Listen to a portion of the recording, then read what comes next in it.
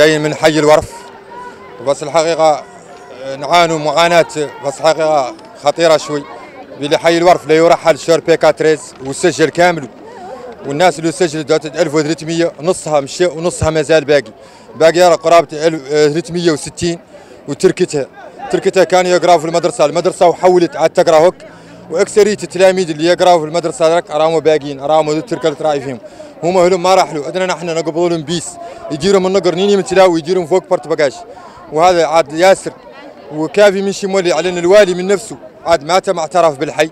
قال إنه مات له خالق. جاوا التعليمات على انه ورث مات له خالق. ونحن فتنا جبرنا الوزيرة قالت لنا للناس الباقية انه دو تعطيها ترابهم.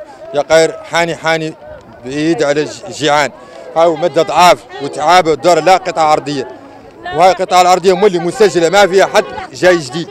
هذا مسجل على لوائح الإسكان ومسجلين على تسجيلين وعدلوا ريزو هو واللوح.